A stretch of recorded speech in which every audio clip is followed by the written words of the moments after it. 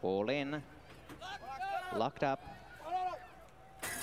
Away and racing in the mile. Kitty's Link a tad slow. First away. Maker's Mark with Handy and Bold on the inside. Irish Eyes are flying, gathering speed to go up and contest the lead as they go to the clubhouse turn. Snohomish Looters on the pace, lying fourth. But Handy and Bold leads out the clubhouse turn and back in fifth, placing on the inside. Mike K beautifully placed. Then came Prodigious. Back on the outside, three wide as advantage. Two lengths to crowning meeting. Kit Katabatic settling back second last early on. And last of all is Kitty's Link. In the lead, Handy and Bold. But look who's on his outside. Irish Eyes are flying. Irish Eyes are flying from the outside post just a ahead away. A length away in third placing, three wide as advantage. Back in the centre, Snohomish Loot. Maker's Mark has a nice trail the inside. Then Prodigious. They're well bunched up. Crowning Meeting is off the rail, three wide. Four deep, Kit Katabatic. A length to Mike K has lost his place as second last. And six to Kitty's Link. The half mile in 47 and one. And Handy and Bold going along nicely ahead in front. Irish Eyes are flying. Poised on the outside. A length away third, Maker's Mark, followed by Prodigious.